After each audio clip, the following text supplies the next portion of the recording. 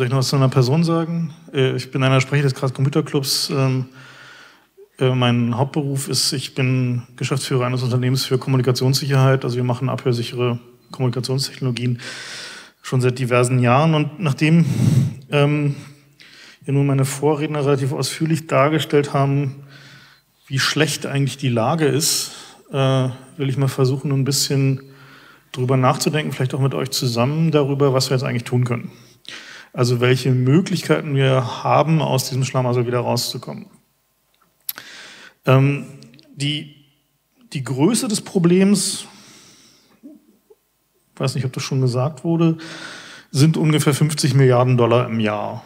So, das ist ungefähr das, die Größenordnung ähm, des Etats, der uns da gegenübersteht. Äh, ist also ungefähr die, das, was die wahrscheinlich die Abhörgeheimdienste dieser Welt gemeinsam auf das Problem werfen, äh, die Welt zu überwachen. So, also wir müssen uns nicht einreden, dass es nur die Five Eyes-Dienste sind, über die wir jetzt dank Snowden mehr wissen, ähm, sondern wir können genauso gut davon ausgehen, dass auch die Russen und die Chinesen und die Inder und die Israelis und auch die Deutschen alle kräftig mit dabei sind. Und wir haben, also uns erwischt dieses Problem gerade zu einem äußerst ungünstigen Zeitpunkt in der Informatik. also wir müssen eigentlich konstatieren, selbst wenn wir nicht von diesen ganzen Tao-Geschichten wissen und von diesen Infiltrationsmechanismen und von Hardware-Bugs und wie sie irgendwie die Router schon auf dem Postwege verseuchen und so weiter und so fort, selbst wenn wir davon nicht wüssten, müssten wir schon alleine auf der Ebene der IT-Sicherheit gegen normale kriminelle Angriffe konstatieren, dass die IT-Security gerade eigentlich kapituliert hat. So, ich weiß nicht, was man von euch mitbekommen hat. Vor ein paar Wochen hat Symantec äh, weltweit größter Anbieter von Snake Oil, also Antiviren, ähm, gesagt, 48 Prozent der Trojaner sehen sie nicht. Also man kann sich da die allerneueste, schickste, tollste Symantec-Software installieren, 48, also die Hälfte der Trojaner sehen sie einfach nicht. Nicht mit allen Heuristiken, nicht mit allen Möglichkeiten irgendwie des Pattern-Matchings und was sie sonst noch so haben, nicht mit Verhaltensanalyse, all die ganzen Dinge, die man da so hat, so, die sich über die Zeit entwickelt haben in der Malware, Detektion und Analyse, bringen gerade mal 50 Prozent. So, das heißt, wir haben es da mit einem fundamentalen Problem zu tun, der, des Versagens der IT-Security. Ähm, und damit natürlich auch der Informatik, da müssen wir uns mal nichts vormachen, sondern wir haben unser ganzes schönes Imperium der Informatik, die Netze, die vernetzte Welt auf Sand gebaut weil wir zu lange davon ausgegangen sind, dass wir in diesem schönen neuen digitalen Universum alle Freunde sind. Ähm, und die Leute, die was Böses wollen, naja, das sind halt die netten Hacker von nebenan, die sind ja nur neugierig. Äh, dass die netten Hacker von nebenan irgendwann mal halt irgendwie ein Einfamilienhaus und irgendwie drei Kinder haben und irgendwie dann bei der NSA arbeiten, ist uns irgendwie nicht in den Sinn gekommen oder zu spät. Nun stehen wir also vor diesem Schlamassel. Und wir müssen ein bisschen genauer hingucken, um festzustellen, welche möglichen Auswege haben wir. Und es wird Dinge geben, die werden wir technisch nicht kurzfristig geregelt bekommen. Und es wird andere Dinge geben, die technisch durchaus regelbar sind. Und darüber will ich heute ein bisschen reden. Ein Teil des Problems, was wir dem wir uns gegenüberstehen, ist ja, dass wir eine Welt haben, in der immer mehr Daten in immer weniger Händen sind. Also wenn wir uns die Konzentration angucken der Internetunternehmen, dann sehen wir, dass es am Ende halt auf so Oligopole hinausläuft. Also wir haben so, keine Ahnung, wahrscheinlich in zehn Jahren, wenn wir vielleicht sowas wie vielleicht fünf oder zehn Unternehmen haben, wenn der Trend so weitergeht, die wahrscheinlich weitaus mehr als die Hälfte unserer Daten haben. Die, der Trend geht immer mehr dahin, dass wir sowas wie Lebensassistenten haben. Ich weiß nicht, wer sich mal Apple Siri angeguckt hat oder jetzt das Zeug von Amazon oder Google Now.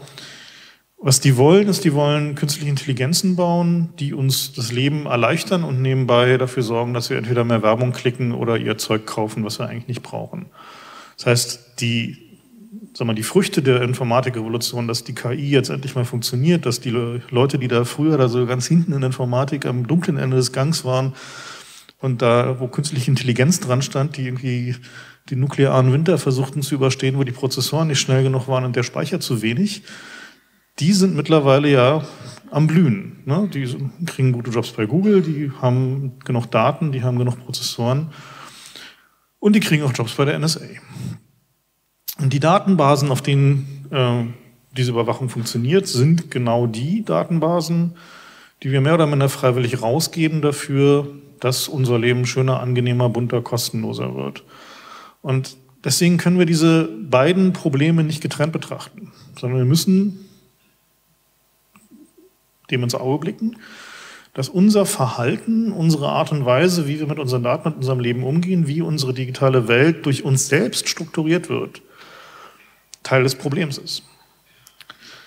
Und das bringt mich zu meinem ersten Lösungsvorschlag nämlich zu versuchen, darüber nachzudenken, wie können wir eigentlich diese potenziellen Oligopole oder mittlerweile de facto Oligopole, was haben wir mittlerweile, Google, Facebook, Apple, Amazon, vielleicht eBay, noch zwei, drei, wie können wir deren Incentive mit den Diensten zusammenzuarbeiten und denen das Leben einfacher zu machen, zu, wie ist es möglich, das zu brechen? Also wie können wir da hinkommen, dass die eigentlich ein Interesse daran haben, dass sie eigentlich kein, keine Kooperationswilligkeit mehr aufweisen gegenüber diesen Diensten. Zum Teil ist es gelungen, allein durch naja, Public Shaming, muss man sagen, dadurch, dass sie plötzlich in der Presse waren, als diejenigen, die ja, Google ganz vorne dran, als bekannt wurde, dass die NSA deren, äh, den Traffic zwischen deren Datacentern ab, äh, abschnüffelt, da war bei denen richtig was los. Da gab es ein richtiges großes Meeting wo sie alle Techies zusammengerufen haben, die irgendwie Ahnung von dem Thema hatten und überlegt haben, was können wir jetzt eigentlich tun und dementsprechend auch eine große Aufrüstung betrieben haben. Bei Facebook genau dasselbe, ja bei Yahoo auch. Und deren natürlicher Instinkt spielt uns da durchaus in die Hände. Der ist nämlich, die Daten, die unsere User uns gegeben haben, die soll möglichst kein anderer haben, weil die sind ja wertvoll. Und wenn irgendjemand mit, mitbekommt, dass wir diese Daten, dass wir da nicht so gut drauf aufpassen, dass die NSA die hat oder die Briten oder der BND, ganz schlecht. So, dann kriegen wir ordentlich Klopfer und dann gehen die Leute weg, dann gehen sie vielleicht woanders hin oder verschlüsseln gar ihre Daten.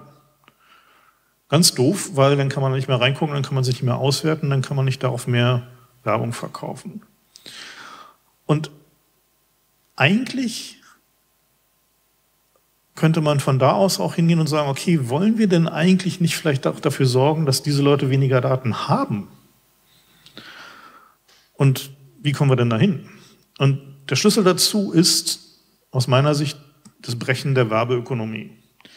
Wir haben momentan ein Internet, was im Wesentlichen deswegen so scheiße ist, wie es heute ist, weil nach der ersten Startup-Welle niemand eine richtige Idee hatte, wie man den Leuten Geld abluchsen kann. So. Niemand wollte für dieses Zeug im Internet bezahlen, so. sondern was die Leute wollten war, naja, wer weiß, ob es dieses Startup in drei Wochen noch gibt, also lieber mal höchstens auf die Werbung klicken oder die Werbung tolerieren. Und daraus resultierte dann zusammen mit Googles Innovationen von, äh, von ihren Werbeversteigerungsmethoden ähm, das Internet, wie wir es heute kennen. Also ein weitgehend werbefinanziertes Internet, in dem niemand mehr gewohnt ist, irgendwie für Dienstleistungen Geld zu bezahlen. Und wir alle uns im Wesentlichen daran gewöhnt haben, dass wir getrackt werden, dass wir mit unseren Daten dafür bezahlen, dass wir Dienstleistungen bekommen, für die wir eigentlich auch mal einen Euro ausgeben können. Deswegen wäre eine Forderung, die durchaus auch den Diensten das Leben schwerer macht.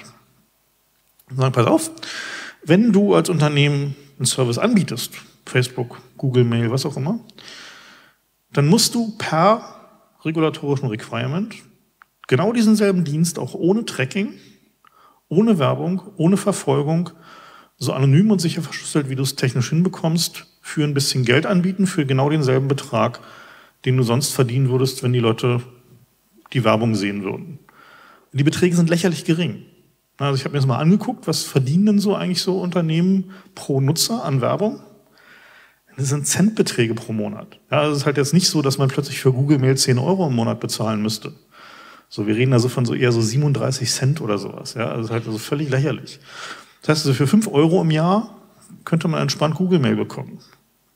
Denke mal, wäre für, die gucken dann nicht mehr rein, die Mail ist verschlüsselt, ähm, durchaus ein, ein, Angebot, was zumindest für Leute, die nicht besonders paranoid sind, schon mal attraktiv wäre. Und genau diesen, diesen Punkt, den Datenschutz, den wir in Deutschland sagen wir, sehr regulatorisch angesetzt haben, zu sagen, wir brauchen halt Datenvermeidung, wir brauchen Datensparsamkeit, alles muss eine Zweckbindung haben. Die Gedanken sind ja vollkommen richtig. Sie klingen nur so nach Großrechnerzeitalter, ne? die klingen so nach, naja, hat so Leute, die halt schon ein bisschen Probleme hatten, so mit PCs und mit dem Internet, wo es dann schon ganz schwierig. Und aus dieser Ecke rauszukommen, erfordert eben auch die ökonomischen Incentives, die diese großen Konzerne haben, mitzudenken. Und darüber nachzudenken, wie kann man einfach sagen, okay, wir müssen die im Zweifel regulieren. Alle Industrien, die groß genug geworden sind, unterliegen Regularien, ist nicht weiter schlimm. Wir können sie auch regulieren. Äh, wie können wir diese Regulationsmechanismen immer zweifach denken? Zum einen, wir wollen nicht, dass diese Unternehmen so viele Daten haben. Zum anderen, wie können wir sie dazu benutzen, um den Geheimdiensten das Leben schwer zu machen. Dahinter steht natürlich ein, ein sehr grundlegender Gedanke, nämlich Information ist Macht. Und Macht ist etwas, was wir grundsätzlich in unserer Gesellschaft als ein regulierungsbedürftiges Ding identifiziert haben. So, also eigentlich so ein, schon etwas länger, äh, also ein paar hundert Jahren so, das, worum es eigentlich in der Politik geht nämlich wie äh, wird Macht verteilt, wie werden Machtkonzentrationen, die übermäßig groß sind, vermieden, äh, wie kann man versuchen, als Bürger seine, seine eigene kleine, sein kleines bisschen Macht, was man hat, äh, so zu verwenden, dass die Welt ein bisschen hübscher und schöner wird. Und genau dafür ist Privatsphäre da. Wir haben ja immer diese diesen Versuch, Privatsphäre und Transparenz zu verwischen. Ja, zu sagen, ja, du als Bürger musst einfach ein bisschen transparenter werden, damit unsere Gesellschaft besser funktioniert, damit wir wissen, wie viel U-Bahn irgendwo fahren müssen oder was auch immer. Und wir müssen genau auseinanderhalten. Transparenz ist etwas, was wir als Individuen fordern müssen von großen Entitäten von Unternehmen, von Behörden, von Geheimdiensten, von der Regierung. Weil Transparenz, wissen, was machen die mit unseren Daten, genau was Andi vorhin sagte. Wir wissen viel zu wenig darüber, was tun die eigentlich mit diesen ganzen Daten? welche, welche Erkenntnisse ziehen die daraus? Welche Folgerungen schließen die aus den Daten, die sie abhören, die sie auch von den Konzernen bekommen? Genau die Balance dafür zu finden, besteht darin, zum einen denen weniger Daten zu geben, zum anderen besser zu wissen, was die eigentlich damit tun. Und unser Abwehrrecht der Privatsphäre, also dass wir als Individuen das Recht haben, nicht alles von uns zu offenbaren, ist in diesem Spiel, in diesem übergeordneten Spiel, tatsächlich am Ende ein Instrument der Machtregulierung. Nun wird man sich natürlich sagen, okay, Herrgott, können wir denn eigentlich überhaupt sowas wie Google oder Facebook oder so sind wir eigentlich überhaupt in der Lage, als Deutschland, als Europa, da irgendwas zu tun? So sind wir in der Lage, irgendwie, die irgendwie an die Kandare zu nehmen? Äh, lustigerweise ja. Ähm, mein Beispiel dafür ist dieses, nun ja, etwas äh, strittige Urteil des Rechts auf Vergessen. Äh, alle hatten eigentlich erwartet, dass Google irgendwelche Umgehungsmechanismen findet und sagt, okay, ja, wir speichern die Daten nicht mehr in Europa oder wir bieten die Services irgendwie anders an. Aber nein, Tatsächlich ist es so, dass gerade die großen Unternehmen durchaus willens sind, weil sie gerne möglichst wenig Komplikationen haben wollen mit solchen Konstrukten, äh, ja, sich an solche gesetzlichen Vorgaben zu halten. Das heißt, also man kann tatsächlich auch solche großen Internetunternehmen regulieren mit einer großen Entität wie Europa. Es geht durchaus, man muss es nur wollen. Die Frage, ob wir in der Lage sind, solche Entitäten wie die NSA zu regulieren. Ist hingegen etwas anderes. Wir haben da das prinzipielle Problem, dass ein Geheimdienst an sich nicht kontrollierbar ist. Es liegt in seiner Intention, in seiner Anlage, dass er Dinge tut, die im Blick der Öffentlichkeit entzogen sind. Und deswegen ist die eigentlich einzig sinnvolle Forderung, ist die einfach abzuschaffen. Einfach zuzumachen und zu sagen, so, pass auf, da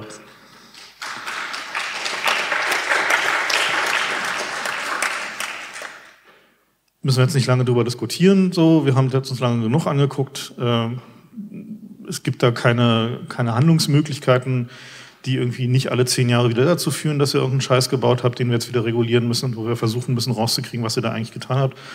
Ich weiß nicht, wer von euch den NSA-Untersuchungsausschuss verfolgt, der ja gerade in den letzten Wochen, genau, ein Applaus für André Meister, das für uns alle tut.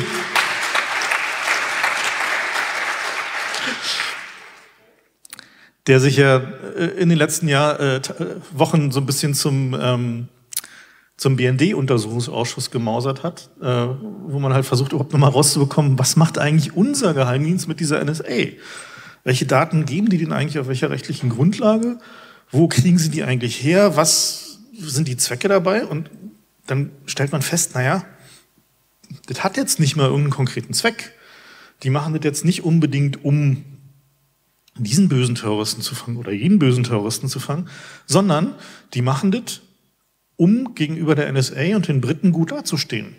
Das ist so ein, so ein, so ein Sandkastenkabbelspiel. Ne? Also so ein, guck mal, ich habe eine tolle neue Schaufel. Und ja, die Mechanismen sind echt nicht anders, wenn man sich das so durchliest, oder? So, guck mal, ich habe eine schöne, tolle neue Schaufel, darf ich mal mit deinem großen Buddeleimer spielen? So, und also mal ganz ehrlich, ich meine, wollen wir das? Also ich meine, das ist nichts, was ich in meinem Namen als irgendwie Bürger dieses Landes halt irgendwie ja, mit meinen Steuergeldern sehen möchte eigentlich. Und daraus folgt eigentlich so, regulieren ist halt echt schwer, weil insbesondere natürlich die Dienste ein großes Interesse daran haben, genau diesen ganzen Bereich der, äh, des Datenaustausches zwischen den Diensten unter der Decke zu halten. Und wenn man sich so durchliest, was da so immer so durchsickert, auch über die Jahre und was früher schon durchsickert, also wenn wir zum Beispiel einen alten Echelon-Report lesen von Niki Hager ans Europaparlament äh, von 1999, der dann halt irgendwie in, keine Beachtung mehr fand nach dem 11. September 2001, da sind genau dieselben Mechanismen schon beschrieben. Ne? Also dass halt Zugänge zu bestimmten Datenquellen, zu bestimmten Kabeln erschlossen wurden, nicht unbedingt weil man sie wirklich selber brauchte, sondern um Handelsware zu haben. Also um was in der Hand zu haben, was man tauschen konnte. Und dafür möglicherweise ganz abstrakt sich Gefälligkeiten auszutauschen, einzutauschen, die man dann vielleicht irgendwann mal brauchen konnte. Zum Beispiel ganz systematisch Erkenntnisse über Bürger des eigenen Landes, die man nach Recht und Gesetz nicht überwachen darf als Inhalt, äh, Auslandsgeheimdienst, die aber die ausländischen Partnerdienste natürlich überwachen dürfen und dann können die schon mal gerne äh, erzählen, was denn so war. Da wissen wir ähm, aus, von einer Whistleblowerin ähm, aus Großbritannien, äh, dass es ganz systematisch passiert ist. Also dass die äh, USA und die Briten genau dieses Spiel ganz systematisch miteinander gespielt haben. Also den, die haben jeweils die Bürger des anderen Landes überwacht und dann die Erkenntnisse rübergereicht und dann war es halt alles legal. Und wenn wir da so also Organisationen haben, die eigentlich in ihrer Kernstruktur darauf ausgelegt sind, demokratische Kontrolle zu unterwandern, und ich meine, alles kann man das nicht sehen, wenn man jetzt irgendwie diesen NSA-Untersuchungsausschuss sich anguckt. Ja, da sitzt dann halt diese die Zeuge oder die Zeugin da vom BND und alles, was die nacheinander sagt, so, ja, nee, nur nicht öffentlich, nee, nicht öffentlich, nee, können wir leider nichts zu sagen, habe ich keine Erinnerung dran, tut mir leid. So dagegen wirkt der Helmut Kohl echt unterhaltsam, ja. So, also der, der irgendwie das Aussitzen und nicht erinnern erfunden hat quasi in diesem Land. Jedenfalls in dieser Dimension. Und diese, diese strukturelle, dieser strukturelle Widerstand dagegen, sich von der Öffentlichkeit in die Karten gucken zu lassen, ist auch anerzogen. Es gehört tatsächlich zum Selbstverständnis, zum, ja, sozusagen Elitegedanken dieser Geheimdienste, dass diese doofe Öffentlichkeit da eigentlich nichts zu suchen hat. Die Frage ist, was können wir denn tun so lange, bis wir in der Lage sind, da irgendwie vor die neue BND-Zentrale zu ziehen und zu sagen, wir brauchen unsere Akten, ähm, brauchen wir Zwischenlösungen. Auf der politischen Ebene, und darüber will ich jetzt erstmal zuerst reden, bevor ich zu den technischen Lösungsmöglichkeiten komme, ist klar, dass wir eine Reihe von politischen Forderungen entwickeln müssen, die ähm, weit über das hinausgehen, was wir momentan haben. Also der momentane Zustand der Geheimdienstkontrolle ist eigentlich mit nicht existent umfassend beschrieben.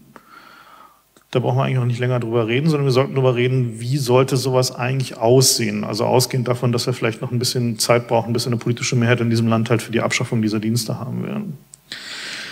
Und eines der ersten Probleme da ist, dass die Institutionen, die dafür zuständig sind, diese Geheimnisse zu überwachen, also die parlamentarischen Kontrollkommissionen, sind dazu nicht mal technisch in der Lage. Also es sind halt irgendwie eine kleine Handvoll Leute, die von der Technik überhaupt gar keine Ahnung haben. Und ein Auslandsgeheimdienst mit strategischer Fernmeldewachung ist eine inhärent technische Angelegenheit.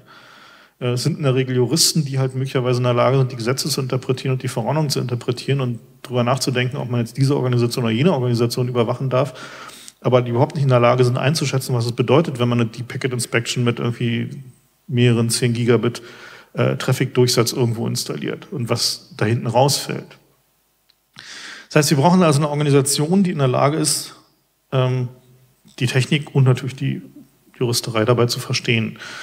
Es gibt ein paar Ansätze, sowas zu tun. Ähm, einer der sinnvollsten Vorschläge wäre zu sagen, es gibt eine unabhängige Behörde, die also dieser parlamentarischen Kontrollkommission, die deutlich vergrößert werden muss, untersteht, in der entsprechende Experten versammelt sind, also wo es halt Juristen und Techniker gibt, und zwar in hinreichender Anzahl. Und ich denke mal, bei den Diensten, die wir so haben in Deutschland, äh, wird es eine dreistellige Anzahl sein von Menschen, die wir da brauchen, die auch über die entsprechenden ähm, ja, Einstufungen verfügen. Also die in der Lage sind, auch äh, top-secret geheim gehalten, also streng geheim geheim gehaltene Dokumente einzusehen und die in der Lage sind, da reinzulaufen, zu sagen, so ich hätte gerne mal von dieser Datenbank einen Auszug und eine Begründung, warum er diese und jene Maßnahme macht. Und die auch in der Lage sind zu verstehen, wenn da neue Beschaffungsprojekte äh, zum Beispiel das BND anstehen, die jetzt ja neulich gefordert haben, dass sie irgendwie in der Lage sein wollen, Social Media flächendeckend zu überwachen, ähm, die auch in der Lage sind einzuschätzen, was bedeutet das eigentlich und welche äh, welche Folgerungen ergeben sich daraus. Und es hilft halt nichts, wenn solche Behörden halt wie der Datenschutzbeauftragte eine nachgeordnete Behörde des Innenministeriums sind. Ja, also da brauchen wir nicht lange drüber diskutieren. Ein, zweites, ein zweiter Grundsatz, den wir einführen sollten ähm, für solche Behörden wie Geheimdienste, ist, dass alle Zugriffsbefugnisse, die die bekommen, immer der Evidenzpflicht unterliegen. Das heißt, die müssen zeigen, dass es wirklich was bringt.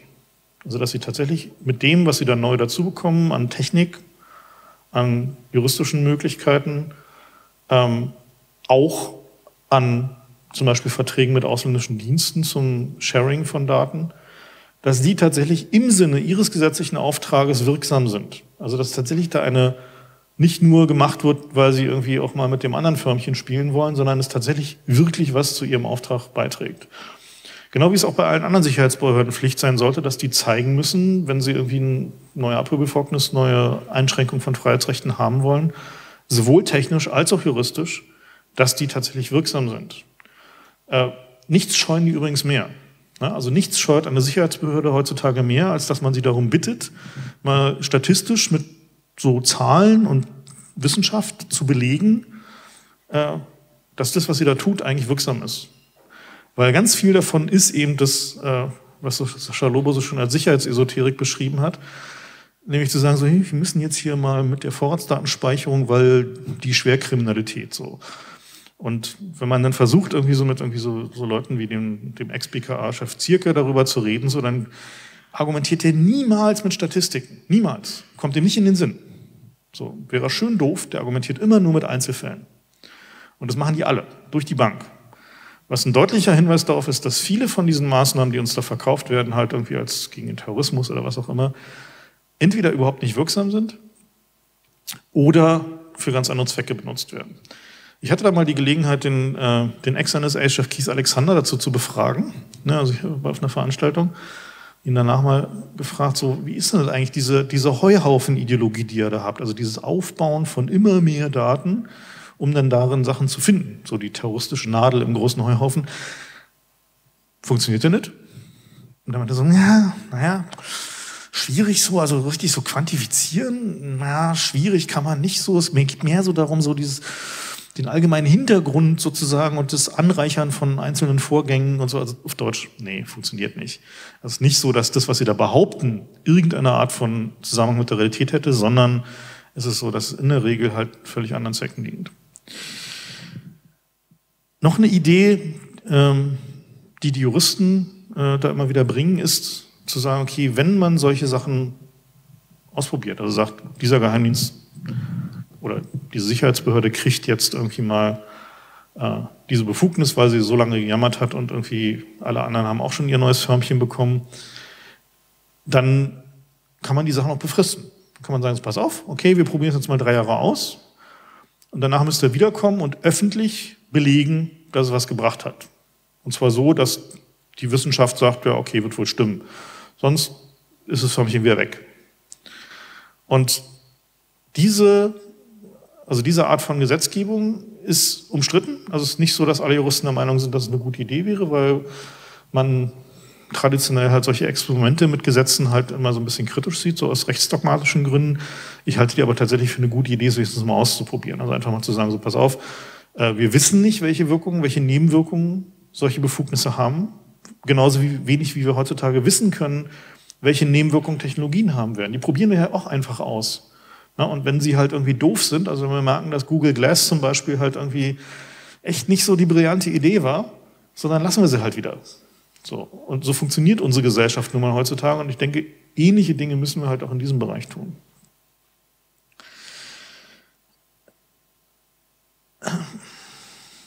So, da waren wir. Ja, noch so ein interessantes Problem. Ähm, da kommen wir jetzt langsam so Richtung Technik wieder. Wie wir heute schon mehrfach gehört haben, sind, ist der Zustand der IT-Security und der Software allgemein so, dass wir konstatieren müssen, es wird gerade nicht wirklich viel besser. So.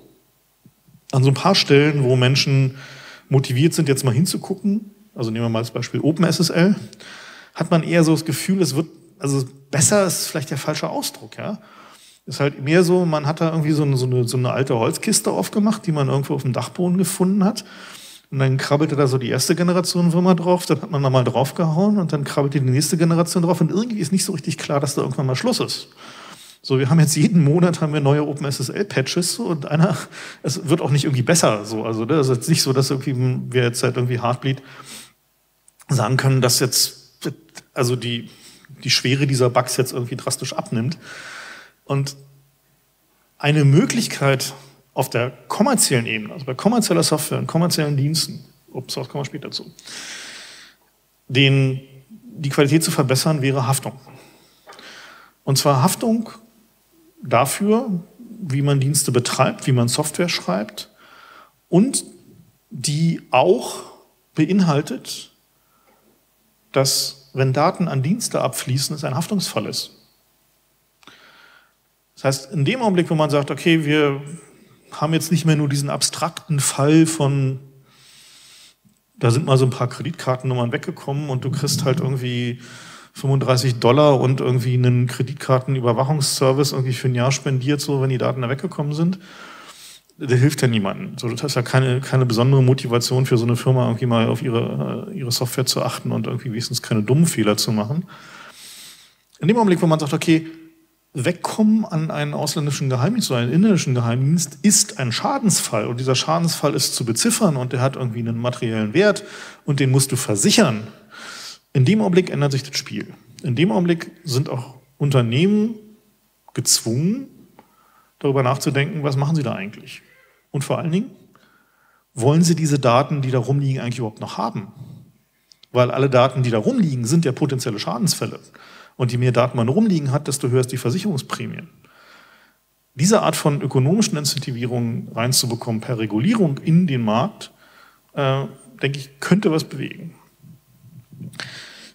Da gibt es allerhand Seitenprobleme. Also will ich jetzt gerade mal nicht drauf eingehen, aber natürlich ist es so halt, dass man dann natürlich für so eine Haftpflichtversicherung irgendwie Ausnahmeregelungen schaffen muss und Töpfe schaffen muss, um kleine Unternehmen nicht aus dem Markt zu preisen und Open Source äh, Unternehmen nicht zu benachteiligen und so weiter und so fort. Sind aber Details, die man dann regeln kann, wenn man sich mal auf den Grundsatz äh, geeinigt hat. Kommen wir zu den technischen Fragen. Können wir Massenüberwachung innerhalb der nächsten Jahre unterbinden? So jetzt mal so fünf Jahre, also als Zeithorizont. Und ich denke, ja, wir sind technisch durchaus in der Lage, die Infrastruktur, die wir heute haben, so abzusichern, dass sie zumindest gegen die massenweise Überwachung, von der wir jetzt wissen, gesichert ist. So, wir haben drei wesentliche Komponenten dabei. Ne, das eine sind die Metadaten, also wer kommuniziert wann, von wo aus, über welche Medien mit wem. Das zweite sind die Daten, die irgendwo gespeichert sind, das heißt, die in den Servern liegen, die bei Facebook liegen, die bei Google liegen und so weiter und so fort, die massenweise abgegriffen werden können. Und das dritte sind die Daten, die auf dem Transportweg sind, also die Inhaltsdaten. So, und für jede dieser Problemfälle haben wir eigentlich im Prinzip technische Lösungen. Einige sind ein bisschen komplexer, andere sind nicht so komplex. Der einfachste Weg ist zumindest erstmal alle Transportleitungen abzusichern mit mehreren Lagen Verschlüsselung. Wenn man die Verschlüsselung genügend tief staffelt, kriegt man auch den größeren Teil der Metadaten so weit weg, dass sie nicht mehr ohne weiteres abzugreifen sind. Wenn jetzt mal, nehmen wir mal an, man würde statt irgendwie jetzt über sowas wie Schengen-Routing zu diskutieren, einfach mal darüber diskutieren, so, wenn du da eine Glasfaser hast, da darf kein unverschlüsselter Verkehr drauf sein ähm, dann würde es die Massenüberwachung schon mal dramatisch schwieriger machen. Das heißt nicht unmöglich, natürlich nicht. So, es würde immer noch heißen, dass wenn du die Router hackst und da irgendwie die Keys draus extrahiert oder wenn du halt irgendwie Backdoors hast oder wenn du Leute hast in dem Unternehmen, die mit dir kooperieren und so weiter, würdest du immer noch rankommen. Klar.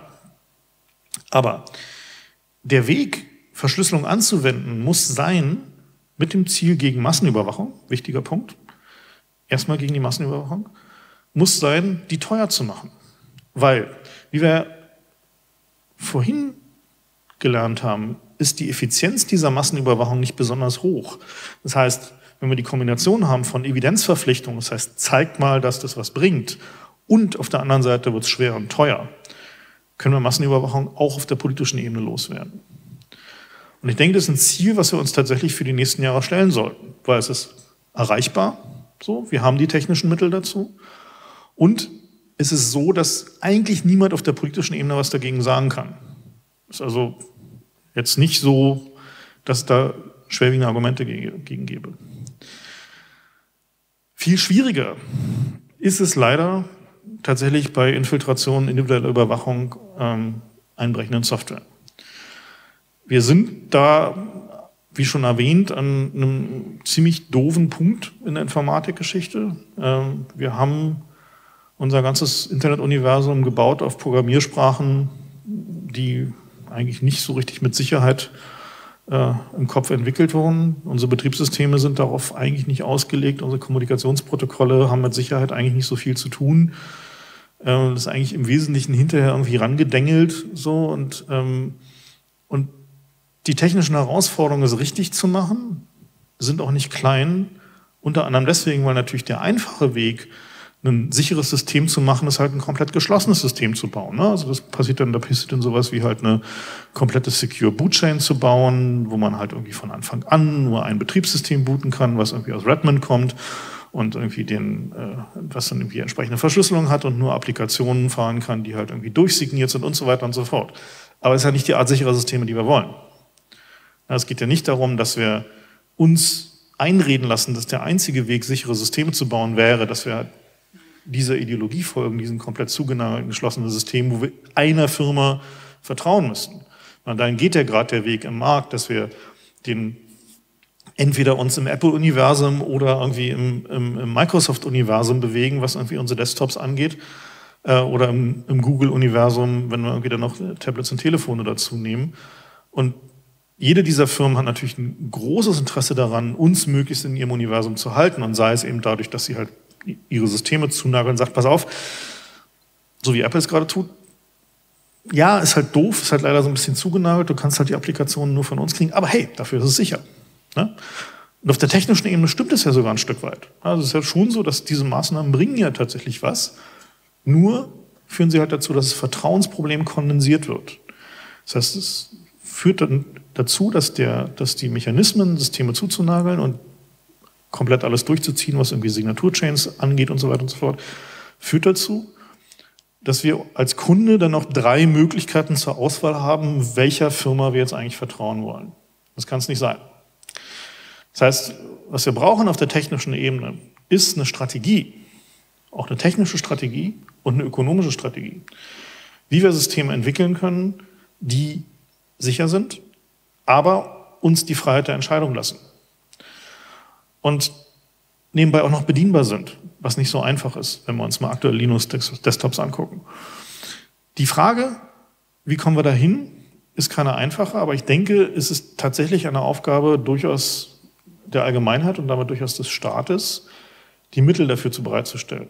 Der Staat selber, weder die EU noch Deutschland, sollte beim Schaffen dieser Systeme involviert sein. Wie Andi vorhin richtig sagte, ist das große Problem, dass das Interesse des Staates immer von den Interessen der Sicherheitsbehörden geprägt ist.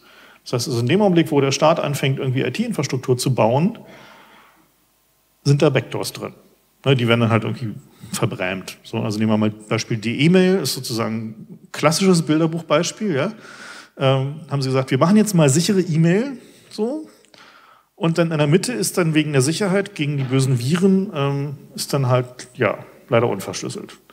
So. Und äh, zum Glück hat sich die Öffentlichkeit da nicht besonders einfach veralbern lassen. Das heißt also, das System wird dann wohl nicht mehr allzu lange unter uns sein. Aber es zeigt sehr deutlich, wenn der Staat anfängt, solche Dinge zu bauen, können wir da nicht viel erwarten. Das heißt, wir brauchen andere Mechanismen. Und die müssen wir auch auf der politischen Ebene entwickeln. So, und ob es jetzt eine Stiftung ist oder ein Institut oder ein Fördersystem oder was auch immer, oder vielleicht mein Favorit, eine Neuerfindung des Systems öffentlich-rechtlich, also im Sinne von Institutionen, die keine Firmen sind und die nicht der Staat sind. Äh, das ist eine Diskussion, die wir führen müssen. Wir müssen Institutionen schaffen, die in der Lage sind, solche Systeme zu spezifizieren, zu entwickeln und zu auditen. Interessanterweise gibt es in der Politik für so eine Ideen gerade eine Menge Gehör. Wenn man da hingeht und sagt, so, wir müssen jetzt mal die Geheimdienste abschaffen, dann klappen da so ein bisschen die, die Ohren runter und man, sie möchten nicht mehr so gerne mit einem reden, weil sie wissen zwar schon, dass man Recht hat, aber ist halt gerade inopportun. Und man sagt, okay, wir brauchen jetzt aber mal, keine Ahnung, 150 Millionen Euro im Jahr dafür, dass wir mal sichere Software entwickeln, damit wir in 10, 15 Jahren, so lange wird es dauern, äh, sowas wie vertrauenswürdige informationstechnische Systeme haben. Ähm, damit kann man kommen. Also es ist tatsächlich ein politisch gerade möglicher Plan. Äh, und ich denke, das müssen wir auch tun. Also wir müssen es auch schaffen, aus diesen üblichen EU-Fördersümpfen äh, herauszukommen und eine Methodik entwickeln, wie man mehr im Stile dessen, wie die Open Source Gemeinschaft Software entwickelt, ähm, zu sicherer Software kommt. Wobei man da sagen muss, da müssen wir uns ganz schön auf den Hosenboden setzen, weil die Art und Weise, wie da Software entwickelt wird und was daher hinten rauskommt, haben wir leider gesehen bei OpenSSL. Da ist irgendwie einiges äh, verbesserungsbedürftig, um es mal ganz vorsichtig zu formulieren. Und wir müssen auch systematisch daran gehen, die Erkenntnisse, die in der Akademie ja da sind, also in den Universitäten, in den Instituten, darüber, wie man sichere Software schreibt, also auch wie man Beweise führt in Software, ähm, wie man Programmiersprachen entwickelt, die es verhindern oder es sehr schwer machen, sich in den Fuß zu schießen, wie man Kommunikationsprotokolle so designt, dass sie nicht am Ende äh, sowas wie Weird Machines sind, in denen man dann halt irgendwie Turing-Complete-Spielchen spielen kann. Hm. Diese Erkenntnisse müssen umgesetzt werden. Also wir können jetzt nicht hingehen und sagen, okay, wir nehmen jetzt einfach mal irgendwie C und programmieren darin sichere Software weiter. Das wird halt leider nicht zum Ziel führen, sondern wir müssen schon uns angucken, wie hat sich die Welt in den letzten 20 Jahren weiterentwickelt und welche Methoden können wir da anwenden, um, wie gesagt, ich denke, das ist ein langfristiger Plan, 10, 15 Jahre, um zu sowas ähnlichem wie Informationssouveränität zurückzukommen. Ein wichtiger Punkt, heute auch schon mehrfach erwähnt, ist tatsächlich Verschlüsselungsstandards. Wir haben die Situation momentan, dass wir keine nicht-amerikanischen weltweiten Verschlüsselungsstandards haben. Ähm, die, also die Standards, die halt irgendwie weltweit im Umlauf sind für alles Mögliche, für Hash, für Blockcipher, für Zufallsgeneratoren, für asymmetrische Algorithmen, sind eigentlich alle von der NIST spezifiziert. ich würde bei keinen von denen jetzt sagen, irgendwie warm fuzzy Feeling nach dem, was wir gelernt haben, wie äh, die Manipulationsmechanismen für diese Algorithmen funktioniert haben, anhand der Beispiele, die bekannt geworden sind. Das heißt, wir brauchen auch einen weltweiten oder zumindest zur Not wenigstens erstmal europäischen Weg, um mit offenen Wettbewerben, ohne Einfluss der Geheimdienste, ohne Einspruchsrecht der Geheimdienste Verschlüsselungsstandards zu spezifizieren. Ähm, ich habe da leider so gewisse Zweifel, dass es passiert, wenn ich mir so die Zusammensetzung der aktuellen EU-Kommission angucke. Äh, vielleicht haben wir aber Glück, keine Ahnung, wenn wir es laut genug fordern. Das ist aber auf jeden Fall ein Feld, wo wir dringend handeln müssen. Also wo wir dringend auch Methoden brauchen, äh, um solche Wettbewerbe durchzuführen, Institutionen brauchen, die solche Wettbewerbe durchführen und die dafür sorgen, dass, ähm, dass diese Standards halt eben nicht kompromittiert sind.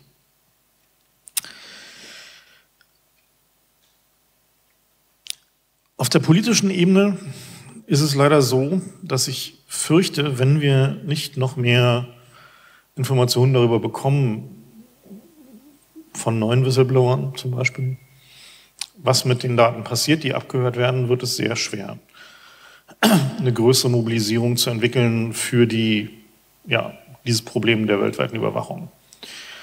Wie wir gesehen haben an dem Fall des Telefons von Angela Merkel, funktioniert politische Mobilisierung am besten durch persönliche Betroffenheit. In dem Augenblick, wo es ihr Telefon war, war der NSA-Skandal plötzlich dann doch nicht mehr zu Ende, wie es Herr Poffaller verkündet hatte.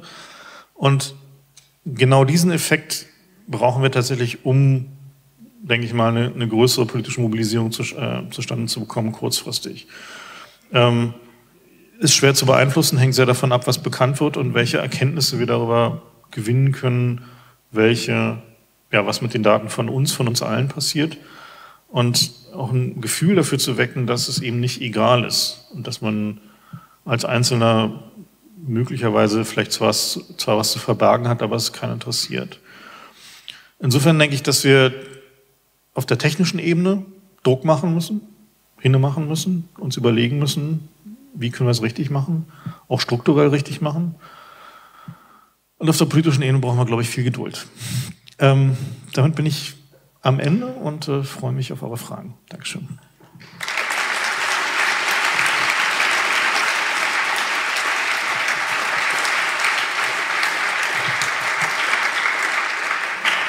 Ja, vielen Dank.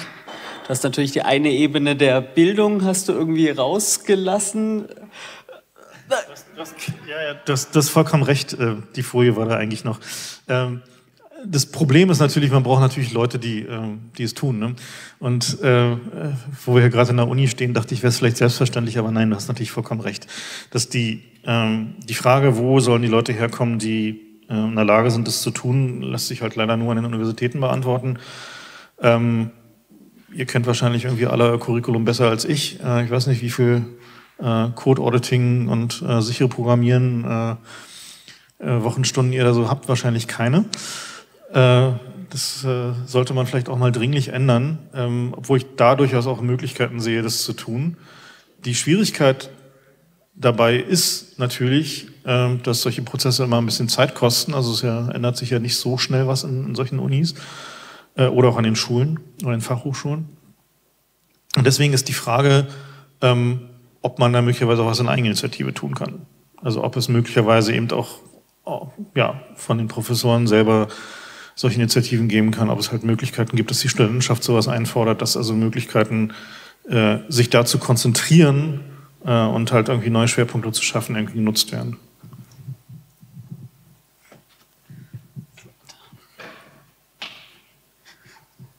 Dann fragen wir doch mal einen Professor. ähm, du hast gesagt, wir brauchen neue öffentliche Kryptostandards, die auf, einer besseren, auf eine bessere Weise zustande gekommen sind. Mein Eindruck in der Diskussion äh, der letzten Monate war, dass wir eher zu viele Standards haben als zu wenig. Also siehe SSL v3, so eine Problematik. Oder ähm, bei OpenSSL, dass, die, dass das eine System überkomplex ist. Sollte die Antwort nicht eher lauten, lass uns ausfiltern und das Beste von dem pflegen und perfektionieren, was wir haben und vor allem abspecken, damit man durchblickt? Also die, ähm, das perfide daran ist ja, dass ähm, Kryptoalgorithmen bzw. kryptografische Systeme, Algorithmen in dem Fall nicht, sondern kryptografische Systeme überkomplex zu machen und dafür zu sorgen, dass sie zum einen sehr schwer vollständig zu implementieren sind und zum anderen extrem viele Varianten haben, von denen dann etliche unsicher sind, ist ja einer der Bestandteile der Manipulation. Also wenn man sich anguckt, wie IPsec äh, ja, verhunzt wurde, muss man sagen, also wo wir mittlerweile doch relativ gute Anzeichen dafür haben, dass in, in IPsec, ähm, also in der Spezifikation von IPsec absichtlich äh, Komplexität eingebaut wurde, die es quasi unmöglich macht, das richtig zu implementieren, außer man ist wirklich gut, ähm, weist darauf hin, dass wir natürlich eines der Designkriterien für neue Kryptosysteme muss eben sein, dass sie super simpel sind. Und zwar auch super simpel zu benutzen. Das heißt, also wir brauchen halt mehr äh, von, von sowas, was DJ Bernstein zum Beispiel macht, also halt Krypto-Libraries, die man auch benutzen kann äh, als Programmierer, selbst wenn man nicht so viel Ahnung davon hat von Krypto, ohne dass man sich dabei in den Fuß schießt. Und ähm, genau diese Einfachheit der Verwendung von Krypto für den Endnutzer fängt natürlich dabei an, dass der Programmierer sie einfach verwenden kann. Also wenn der Programmierer eine Möglichkeit hat, Krypto so einzubauen, dass er möglichst wenig falsch machen kann, dann ist er auch viel einfacher in der Lage, für den Endnutzer ein System zu designen, was halt irgendwie nicht, äh, nicht so schwer zu bedienen ist. Insofern, ja, eines der Designkriterien für neue Systeme muss eben sein, dass sie simpel sind. Also wir einen Algorithmus haben, im Zweifel maximal zwei für jeden Anwendungszweck ähm, und nicht halt irgendwie diesen Zoo, ja, den wir jetzt zum Beispiel bei OpenSSL, äh, OpenSSL haben. Und ähm, ja, wir können natürlich interimsweise damit anfangen, dass wir erstmal Sachen rausschmeißen, dass wir zum Beispiel SSL halt mal mit der Machete entkernen und halt irgendwie sagen, wir brauchen eigentlich da nicht irgendwie fünf oder sechs verschiedene Cypher-Suits, da reichen eigentlich auch zwei. So. Aber das ist, glaube ich, ein Zwischenschritt, aus meiner, Sicht zumindest. Ja, ich bin dankbar dafür, dass wir die CIA und den BND abschaffen wollen. Das wollten wir am gleichen Ort schon Ende der 60er Jahre. Ähm, in der Zwischenzeit habe ich eine andere Lösung, die vielleicht unkonventionell ist, uns aber ein bisschen weiterhilft. Nämlich, dass wir massenhaft auf diese ganze überflüssige Bequemlichkeitsscheiße verzichten und uns aus diesem Konsumverhalten verabschieden und damit ein bisschen mehr dazu beitragen, dass wir nicht so schnell und so einfach in jeder Situation trackbar sind. Ich selbst habe kein Mobiltelefon und mir geht es bestens. Ähm, ich vermisse es nicht.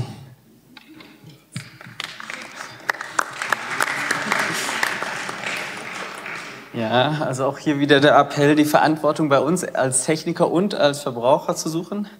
Jetzt, hier weiß ich nicht, waren zwei Meldungen. Wer? Ladies first. Ähm, ist ja nett, Frank. Aber ähm, also ich als Hochschullehrerin habe letzten Winter Kryptographie angeboten an der Hochschule und ich dachte, ich werde überrannt und musste eine zweite Übungsgruppe anbieten. Es waren sieben Leute, die sich eingeschrieben haben für den Kurs, weil es hat so viel mit Mathe zu tun. Ähm, äh, ich bin etwas, äh, also sehr, sehr traurig eigentlich darüber. Ich kriege nicht mal meine Kollegen alle dazu, dass sie PGP-Schlüssel wenigstens äh, erzeugen. Ähm, ich bin ein bisschen hoffnungslos, die Leute dazu zu kriegen, weil sie eben in dieser Bequemlichkeit mit drin sind. Äh, es ist doch schön und es ist so viel extra Arbeit und äh, äh, im, im, so diesen Ausreden. Ich habe selber keine Ideen, wie ich über diesen Bequemlichkeit hinwegkomme. Aber vielleicht ist eine Idee ähm, nicht, dass wir fordern, dass die Politiker unbedingt IT-kündige Leute als Ratgeber haben sollen, sondern dass äh, okay, die Piratenversuch ist ja gescheitert, aber dass man mehr in die Politik hineingeht. Ich weiß, dass es sie geht und so, äh, aber da mussten eigentlich mehr Informatiker und Informatikerinnen im Parlament sein und nicht so viele Juristen. Also im Prinzip hast du natürlich recht. Hm. Ist eigentlich natürlich so, dass das derzeitige politische System jetzt nicht unbedingt dazu angetan ist, ähm, einem das Leben zu verschönern, wenn man da hingeht. Also ich bin ja da öfter. Und ähm, es, in den meisten Fällen fordert es schon so eine gewisse Überwindung. Ne? Also es ist halt so, also den äh, allein deren soziale Riten dazu erdulden. Ähm, ich denke, im Prinzip wird es von selber passieren, einfach deswegen, weil Technik wesentlich wichtiger wird und dementsprechend auch technische Berufe eine, eine größere Prävalenz sag mal, in der Politik interessierten Gesellschaft haben werden. Und daraus folgt dann halt, dass sie am Ende vielleicht möglicherweise auch im Parlament landen werden mit einer entsprechenden Verzögerung. Ähm, ob das am Ende hilft, wage ich zu bezweifeln, weil wir immer mehr sehen, dass das Problem nicht ist, dass sie nicht verstehen. Und das Problem ist, dass, also insbesondere jetzt, sagen wir mal, bei, Themen, so Internet- und Digitalthemen, ist eigentlich so seit zwei Jahren so der Effekt nicht mehr, dass man denen das unbedingt erklären muss. So, also bei jetzt Überwachungstechnologie und so muss man schon noch viel erklären, so. Aber ich sag mal so bei allgemeiner digitalen Netzpolitik, also wo es halt so um, um Urheberrecht geht oder ähm, um, um Netzneutralität oder so Sachen, das haben die ganz genau verstanden. Die haben nur eine andere Meinung. Die sind halt einfach, die haben halt einfach eine nur vollständig andere Ansichten über die Interessen, die sie vertreten sollen. Und also insbesondere die Regierungsparteien. Deswegen bin ich nicht davon überzeugt, dass allein mehr Wissen da hilft, sondern da sind auch noch andere Dinge erforderlich, nämlich tatsächlich, dass diese Digitalpolitik oder wie auch immer man es nennen möchte, ähm, auch zu einem politisch wesentlich wichtigeren Thema wird, in dem Sinne, dass man darüber diskutiert. Also dass es halt tatsächlich eben nicht angenommen wird, ja, der Politiker hat es verstanden irgendwie von der Partei, also kann der das da einfach mal umsetzen, was irgendwie so die, die halbgare politische Ansicht seiner Partei jetzt dazu ist, sondern dass halt eben auch Alternativen debattiert werden. Und ähm, insofern weiß ich nicht genau, ob mehr Politiker irgendwie mit technischem Verständnis alleine das Problem lösen werden. Ich glaube eher nicht. Was die äh, was du sagtest, irgendwie, äh, zu dir kam keiner in den Kryptokurs. Ähm, ja, kann ich mir gut vorstellen. Davon habe ich auch nicht geredet, sondern ich meinte tatsächlich, dass es darum geht, dass wir äh, sichere Programmiertechniken lehren. Also weil Kryptographie ist tatsächlich was, wo ganz ehrlich ähm, es besser ist, wenn Leute, die es wirklich verstehen, Libraries schreiben, die einfach zu benutzen sind und man dann Leuten beibringt, wie sie mit diesen Libraries sicher programmieren können und die Kryptographie da drin so gekapselt ist, dass sie da keinen Unsinn bauen können, weil man kann in Krypto so viele Sachen falsch machen, dass ich jetzt nicht sagen würde, jeder Informatikstudent sollte in der Lage sein, irgendwie RSA irgendwie nach Spezifikation runter zu programmieren. Das wird halt einfach nicht passieren. Ja, äh, aber die Frage halt eben, wie kriegt man eben sichere Programmiertechniken und auch einfach sichere Programmiersprachen äh, in die, sag mal, ins Curriculum rein, ist, glaube ich, einfacher. Weil es ist nur eine einfache andere Anwendung von, von den Methoden, die ohnehin schon da sind. Vielleicht bin ich da blauäugig, korrigiere mich, wenn ich Ja, also ich möchte nochmal, da ich ja der Berufsgruppe der Juristen angehöre, und das sind 22 Prozent im Bundestag, da, da auch keine Legenden entstehen, also das ist schon beträchtlich. Ich würde mir mehr Informatiker wünschen, also nicht 22 Prozent, aber doch mehr, weil in diesem Bereich, ich habe das vorhin in meinem Vortrag schon gesagt, das Zusammenwirken von Juristen und Informatikern äh, mindestens hilfreich ist. Und äh, ich habe ja heute schon was zu Utopien gesagt. Ich glaube, der Vorschlag der Income, äh, dass man darauf verzichtet, dieses Medium zu nutzen, das ist eine wirkliche Utopie. Ich kann allerdings bestätigen, meine Ehefrau gehört auch zu diesen Exemplaren, die das halten und der geht's auch gut. Also es ist nicht zwingend so, dass man äh, dadurch, äh, wir mal, Verluste erleidet, aber es ist aus meiner Sicht völlig illusioniert zu glauben, dass man über diese Methode etwas ändern könnte. Aber ich möchte doch... Ja, gut, Mag sein. Also ich würde es begrüßen, mich würde es nicht stören. Ich habe vorher gut gelebt, gehöre ja einem gewissen Lebensalter an, wo es so etwas noch nicht gab und äh, finde mich in der Tat, also auch, äh, wenn ich mich mit meiner Frau darüber unterhalte, durchaus in guter Gesellschaft und könnte mir vorstellen, darauf wieder zu verzichten. Aber das nur am Rande. Ich möchte auf zwei Dinge eingehen, äh, wo wir jetzt wahrscheinlich nicht streiten können, obwohl ich mit Ihnen streiten würde. Äh, gebe es deswegen nur zu bedenken, Herr Rieger. Das eine ist, Sie sagen schlank und frei, Geheimdienste sind nicht kontrollierbar. Da sage ich Ihnen, solange man nicht die richtigen Mittel angewandt hat, zumindest theoretisch, kann man das nicht sagen. Wenn Sie ein Auto konstruieren, bei dem feststeht, dass es nicht funktioniert, weil einfach die technischen Voraussetzungen nicht stimmen, und Sie sagen, das habe ich hundertmal ausprobiert, aber das funktioniert nicht. Allein aus dem Befund, dass etwas nicht funktioniert, da stimme ich ihm völlig zu, kann ich nicht schlussfolgern, dass es nicht Mittel und Wege gibt, damit es funktioniert.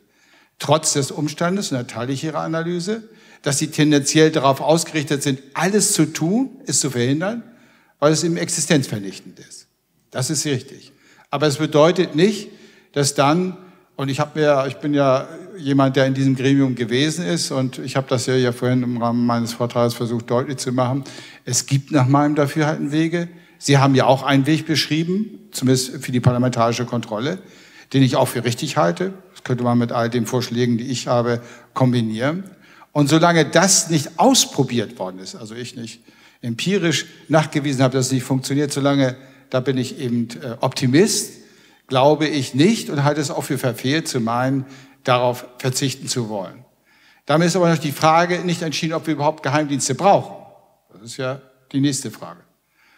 Und ähm, da möchte ich darauf hinweisen, jetzt als Jurist, ähm, wir haben ja eine Verfassung und die Verfassung gilt. Nun ist es so, das wissen vielleicht viele nicht, es gibt in der Verfassung keine einzige Vorschrift, wo per se drinsteht, vom Verfassungswegen sind Nachrichtendienste geboten. Steht nicht drin. Es gibt zwei Vorschriften, die überhaupt so etwas in Erwähnung bringen. Die befassen sich nur damit, kann man eine Bundesbehörde einrichten, die sich mit so etwas beschäftigt.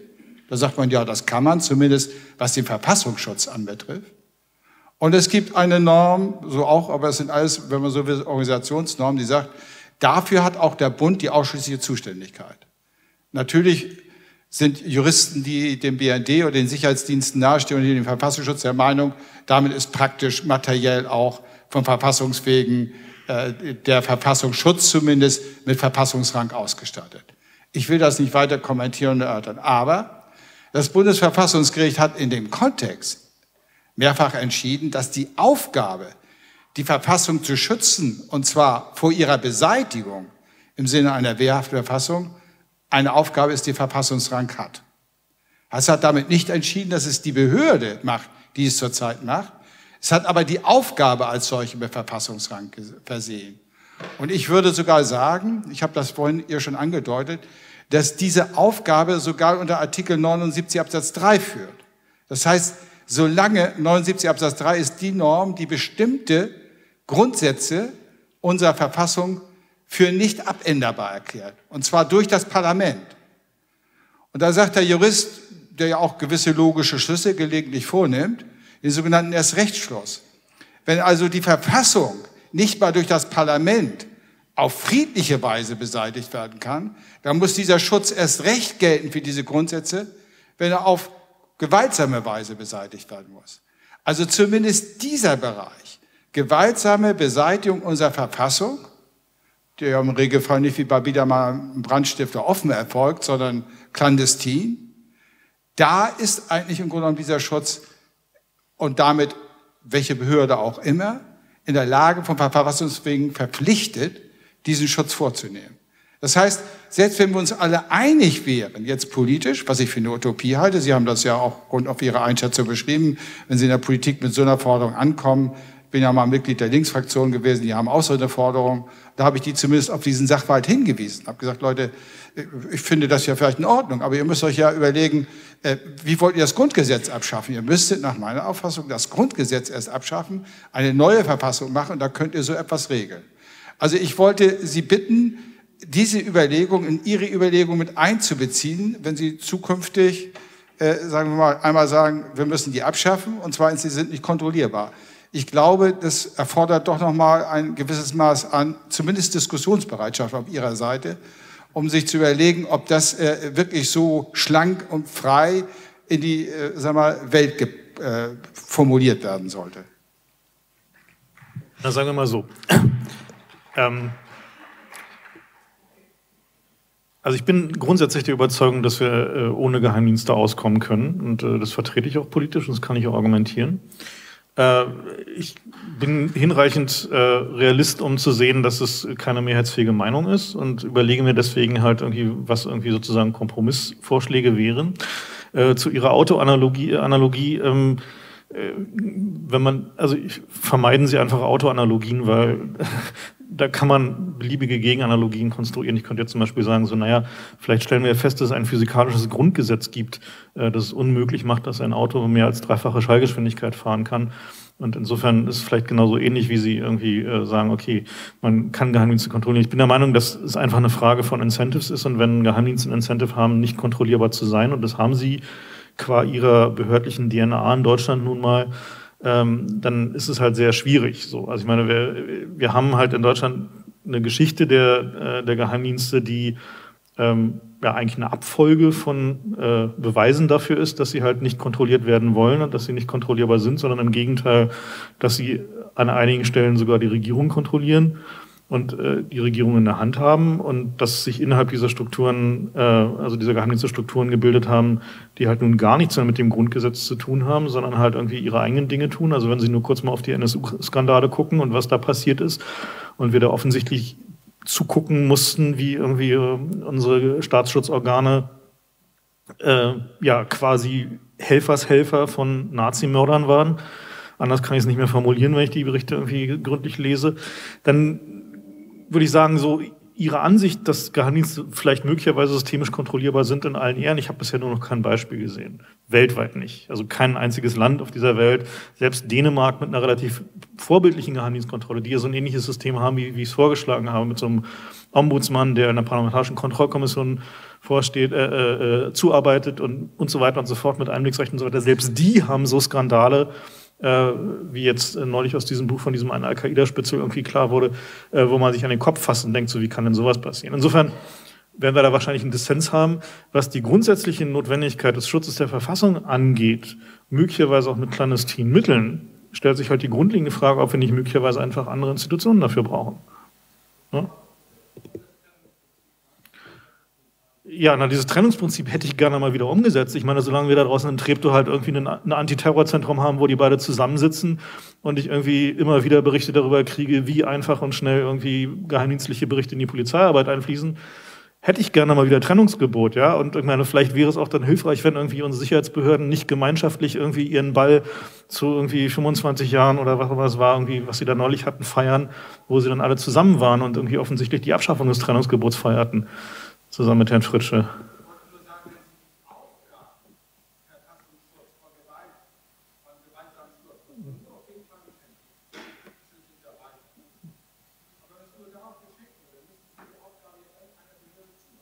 Ja, vielleicht muss man da mal was Neues ausdenken.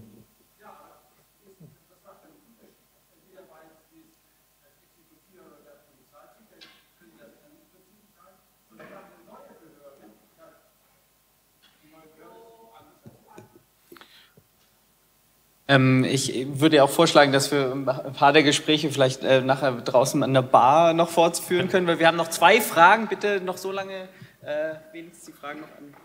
Und dann. Okay, ähm, du hattest darauf aufmerksam gemacht, dass Verschlüsselung sehr viel mehr Standard sein sollte, als es heutzutage ist. Aber eigentlich geht es uns ja nicht um Verschlüsselung, uns geht es um Datenabfluss. Wir wollen den Datenabfluss auf Kommunikationskanälen verringern. Und das löst nicht unbedingt Verschlüsselung. Es gab vor ein paar Jahren mal einen Vortrag irgendwie auf dem CCC, ähm, da wurde gezeigt, dass ähm, die, also das war vom Schweizer Geheimdienst, da ging es darum, dass ähm, es möglich war, Skype zu knacken, ohne die Verschlüsselung zu knacken, dass man in der Lage war, alle Gespräche zu rekonstruieren aufgrund der Frequenzanalyse. Und ähm, ähm, die die, die einzigen Systeme, die da eine gewisse ähm, so eine Gegenpower liefern, sind im Endeffekt die Anonymitätssysteme, die quasi ähm, sicherstellen wollen, wenn da ein Kanal überwacht wird, ähm, dass, dass, dass das Signal möglichst dicht am weißen Rauschen ist. Und eigentlich, eigentlich müsste man das messen.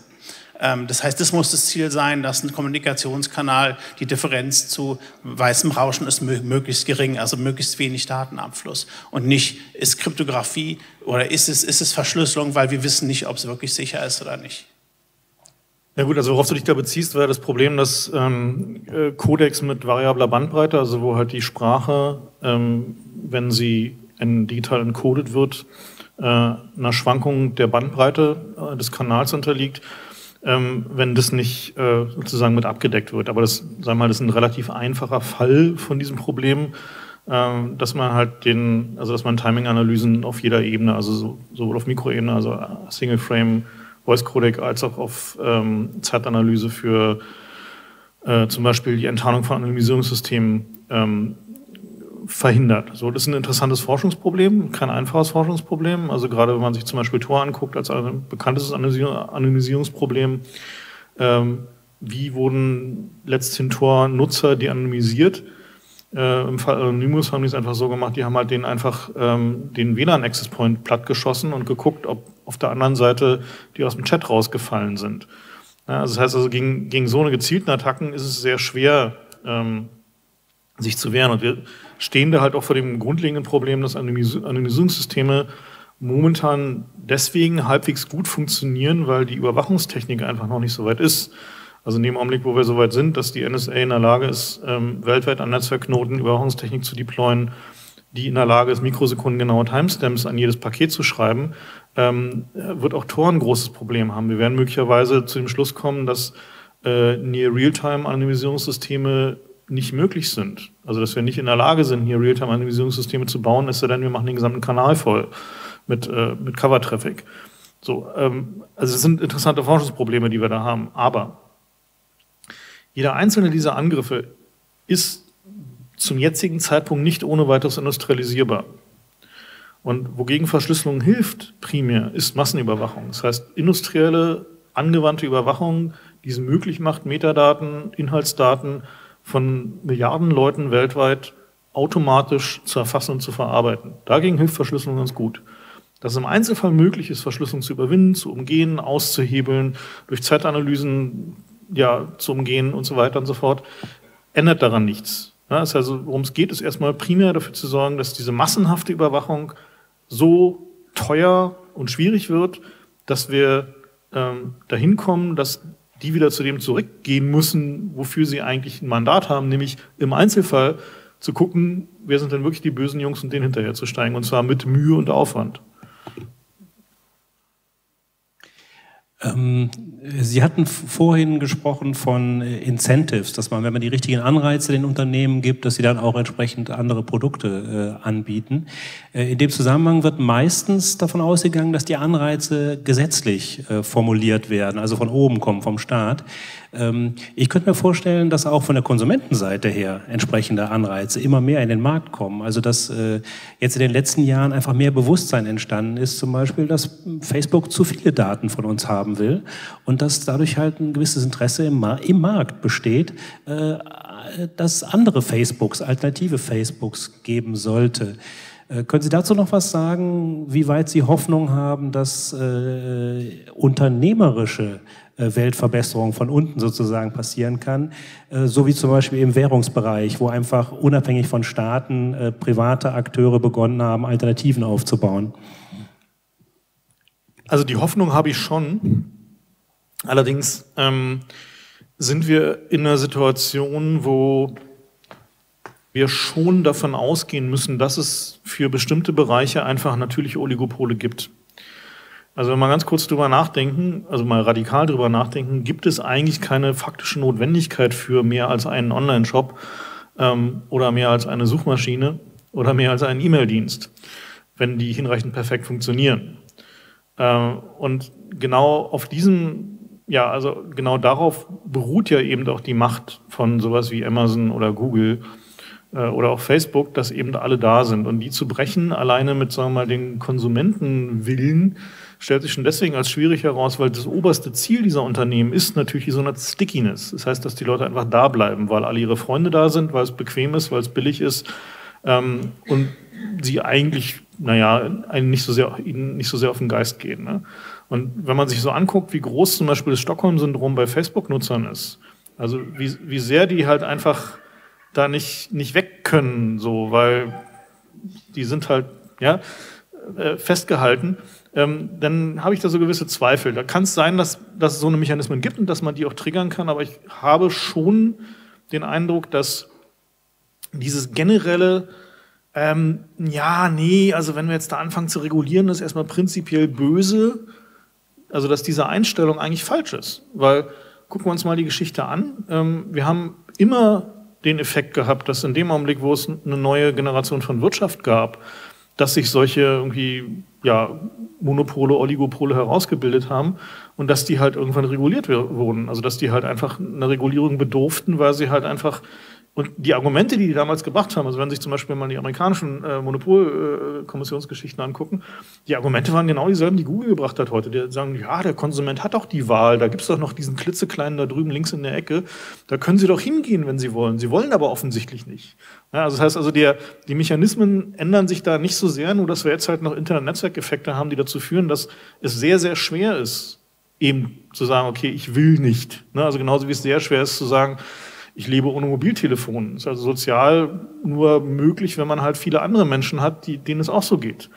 Und diese, ähm, diese Schwierigkeiten zu durchbrechen, denke ich, bedarf es durchaus eben auch ähm, staatlicher Regulierung bzw. Monopolregulierung. Ja. Ja, dann muss man vielleicht auch sagen, dass das Panoptikon auch nur zur Hälfte gebaut ist, weil wenn man bei Bentham mal nachguckt, ähm, sollte ja der Turm nicht nur die Gefangenen überwachen, diese berühmte Architektur, die euch allen hier bekannt ist, sondern der Turm selbst sollte auch der Öffentlichkeit zur Verfügung stehen, damit man nämlich einen Einblick hat, dass die Wärter ihre Macht nicht missbrauchen und etwa ähm, Gefangene misshandeln. Also dieses Who Watches the Watchers wollte Bentham ja auch beantwortet haben, aber wir haben genau bei der Hälfte eigentlich aufgehört, dass wir sagen, der, der Turm steht jetzt da und in denen selbst kann niemand reingucken, also auch die Öffentlichkeit nicht. Ähm, ich glaube, das ist vielleicht auch noch mal mit ein, ein Hinweis auf einen Ausweg, also Öffentlichkeit ähm, im Sinne von ähm, dem größten Tribunal äh, der Gerechtigkeit, wie es Bentham ausgedrückt hat. Danke dir, Frank, für den äh, Ausblick, für die Hoffnung.